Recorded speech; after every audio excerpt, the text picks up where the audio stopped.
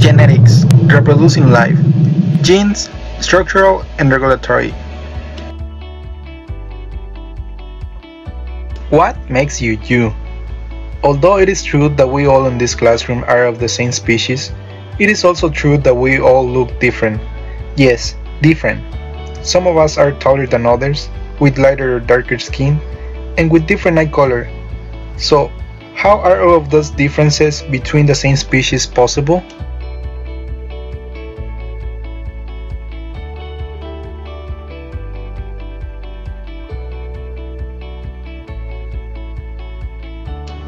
Well, this is due to two genes, structural genes, which are responsible for body structures such as hair, blood, and other tissues.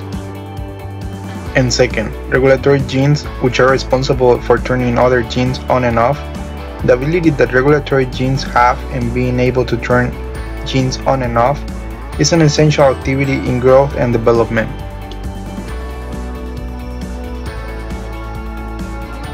For example, if the genes that determine bonds doesn't turn off at certain point, your bonds would continue to grow and you would eventually become a giant. Another example of this is that chickens have the genes for tooth development, but they don't develop teeth, because those genes are permanently turned off. Also, humans have a genes for total body coverage, but the gene is not turned on completely, however, there are some exceptions.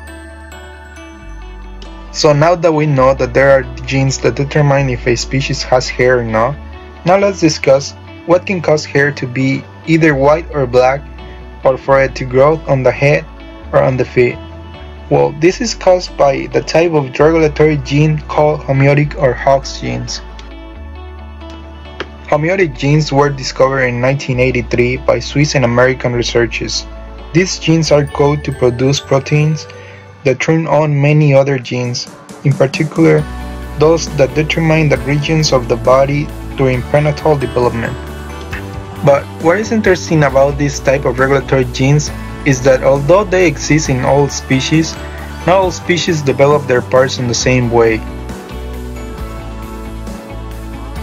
For example, when observing the eyes of a cat and the eyes of a human, it is obvious that they are not the same, even though they share the same homeotic genes.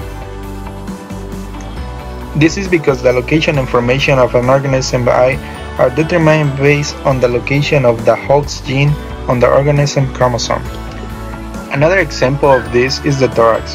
The Hox gene that is in charge of the formation of the thorax exists in all species, but their location information is different for each. For example, in a fly, a mouse, a goose, a snake, and a human, the thorax on each is of a different size and found on a different part of the body. This is because the location of the Hox gene on the chromosome of each of these organisms is also different. Polymorphisms, variations in specific genes. Polymorphism refers to the presence of two or more alleles at a locus or location, where the frequency of the alleles is greater than 1% in the population. Polymorphism creates variation in specific genes, and this is because genes have a specific location on each chromosome and the alleles are also found at the same location. However, what makes alleles different is that they are composed of a different chemical structure. This allows for variation in a genetic trait, and an example of this can be seen in the different blood types that exist. Each person has one of the four blood types A, B, AB, or O. And as we can see, it has two or more variants. But how is it determined what blood type an individual will have? This can be answered by using Mendel's law of segregation. The law of segregation declares that the mother and father contribute equally to an offspring genetic makeup. This means that a person with blood type AB will pass on either an A or B allele to a child, but not both. The other allele will come from the other parent. Also, with the Punnett square we can visually see how each parent contributes with one of their alleles and all of the possible options for the creation of their offspring's new gene.